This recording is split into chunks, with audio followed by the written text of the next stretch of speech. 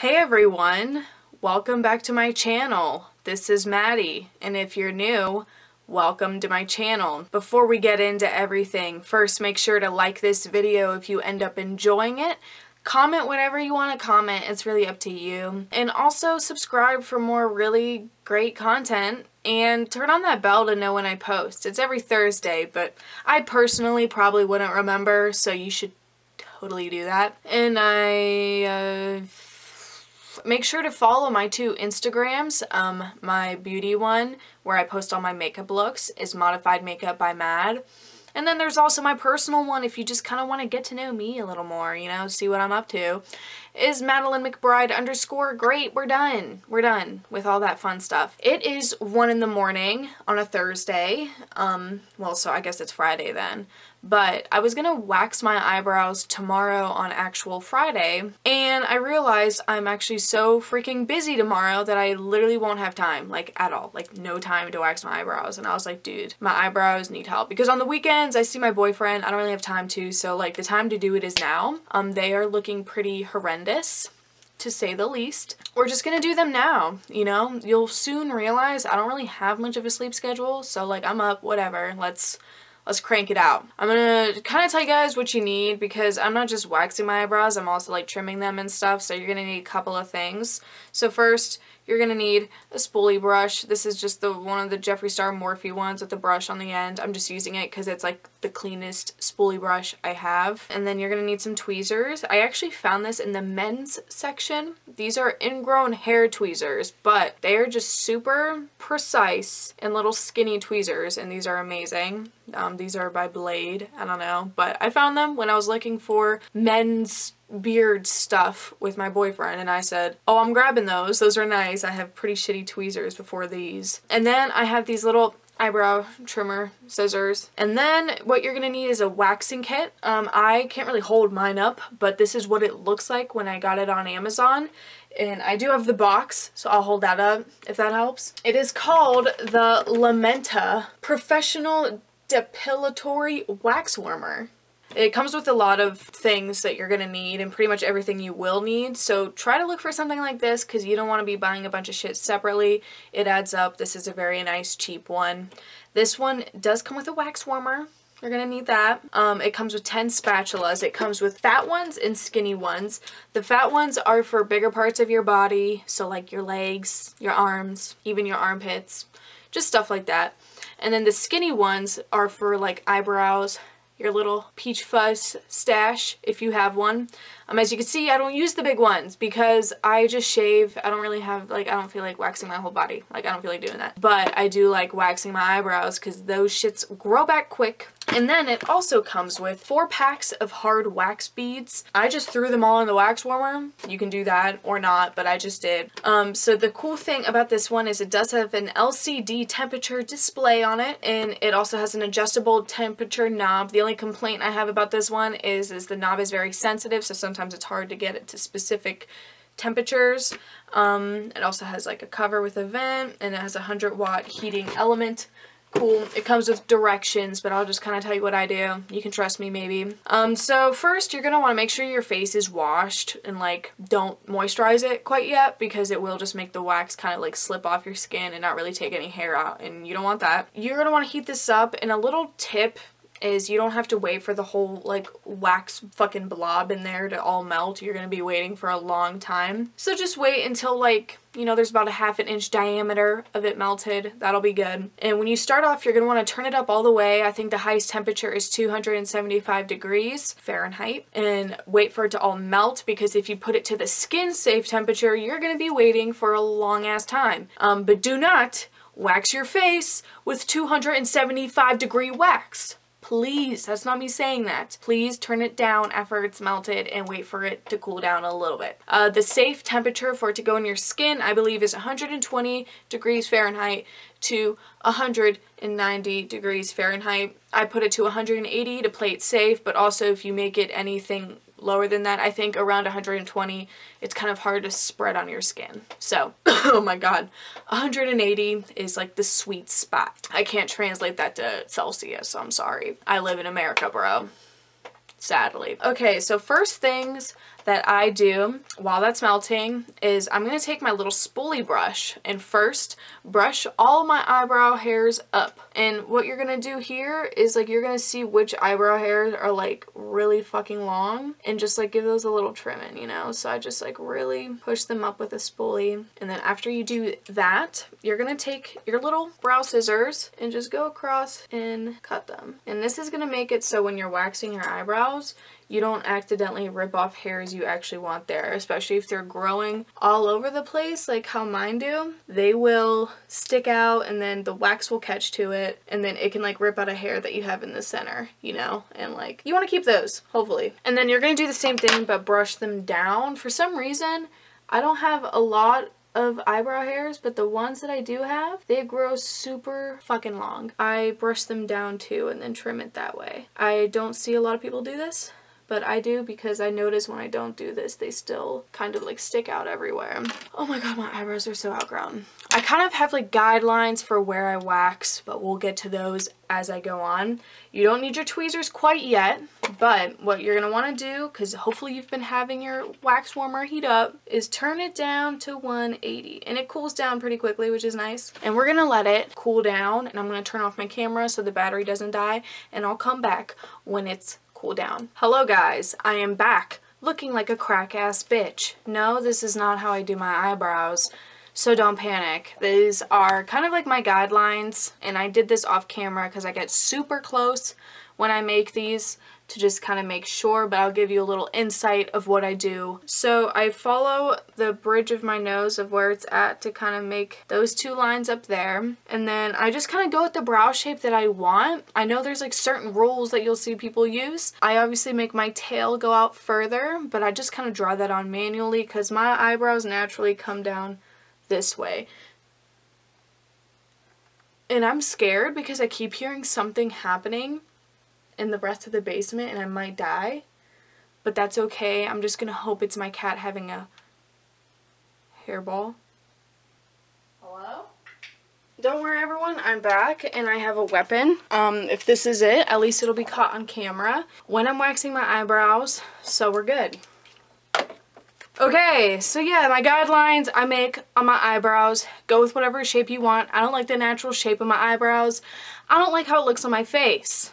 So now we're going to get started with waxing them. So what you're going to do is you're going to get your little waxing stick and there is some technique to this that you'll just kind of get used to. You might want to get like a little pea-sized on here, like a little pea-sized amount of wax and then you kind of have to do this to it because it'll string up a lot. So do that to kind of wrap the string around the stick you know what I mean? And then you're going to want to go in the direction of the hair when you're applying it and then rip off in the opposite direction of the hair. That's very important. I didn't know that. Please do that. So I'm going to get a little pea-size amount. I'm going to start with in between my eyebrows.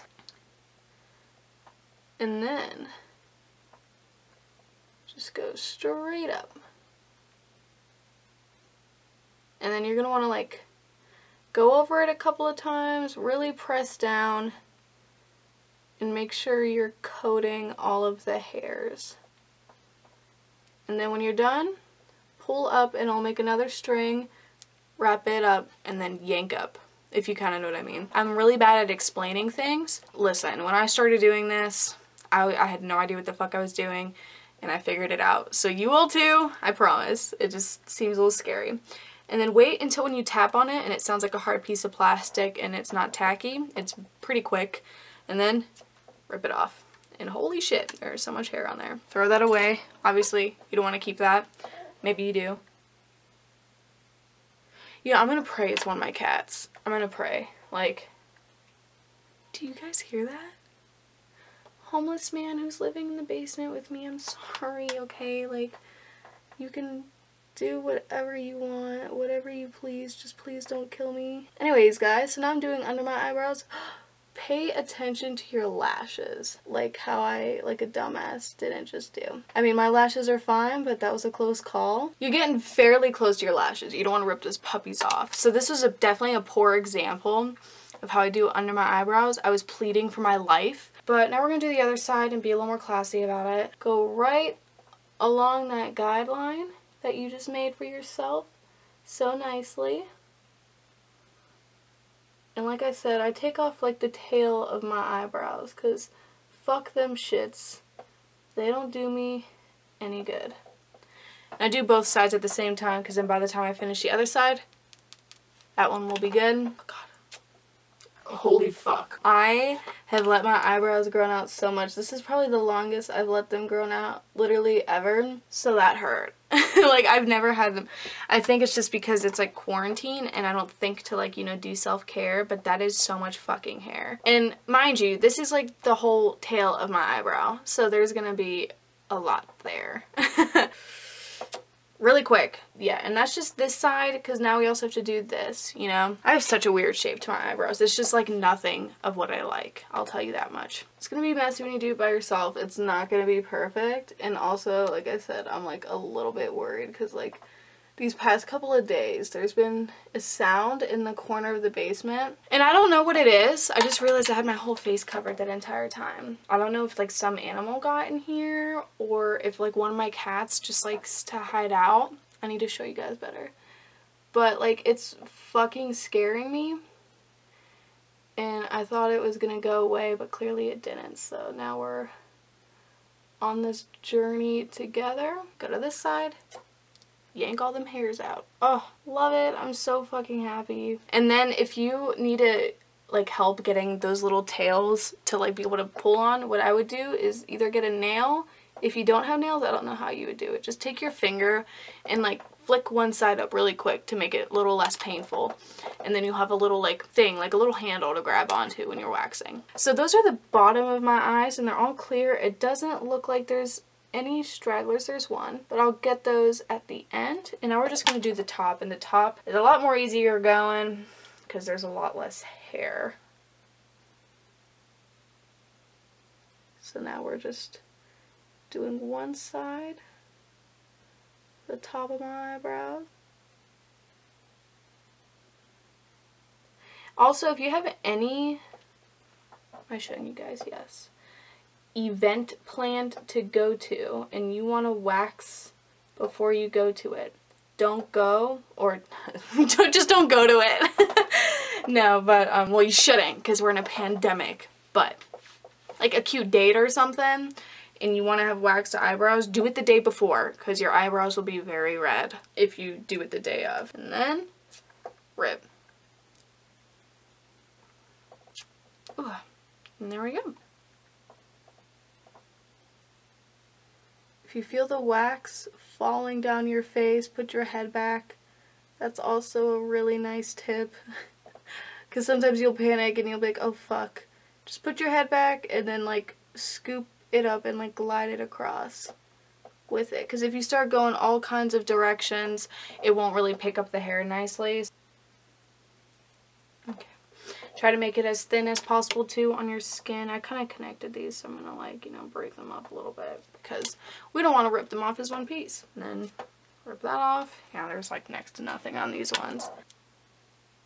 There we go. Now that I got my eyebrows all waxed and how I want them to look and you'll see kind of the finished result when I wipe this eyeliner off my eyebrows. So now I'm just going to get my tweezers, my super nice and precise tweezers and just get any that are kind of like sticking out a little bit and you're like oh I don't want those there. So I'm gonna go just remove this with my makeup eraser and I'm gonna bring down an ice cube and some moisturizer and just show you how I apply it and it'll feel so nice. So I'll be right back Yay, I took all the stuff off my eyebrows. Where's my mirror? As you can see, the skin gets red. You know, you just ripped a ton of hair out of them. And it's also super red because I just iced it. Um, what this will do is kind of close up the pores so you don't get ingrown hairs because when I didn't ice my skin, whenever I would wax my eyebrows, I would get them like fucking crazy. like actually. Make sure you do that. It's a really helpful tip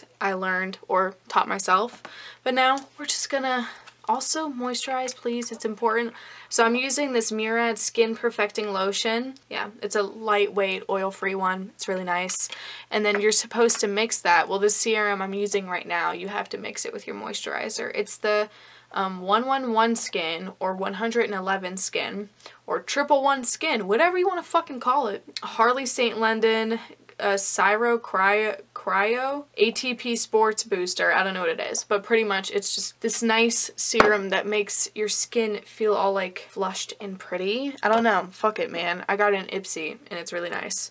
So you're going to take two drops of that with a little dollop of your moisturizer and mix it all together and put it all over your face, but you know, try to get it where your eyebrows just got all ripped up, you know? My nose is super dry. okay.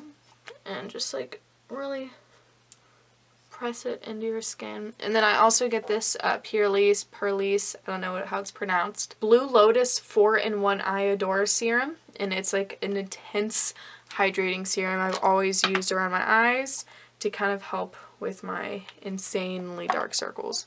So I just get like a tiny like pea amount of that, rub it between my two middle fingers, put it on my eyes, but also like really focus it on the skin around your eyebrows because you know, it's like, what the fuck did you just do to me? So you have to like, you know, treat it right. She's like, Miss Ma'am, please don't ever do that again. I'm gonna say sorry, girl. Here you go.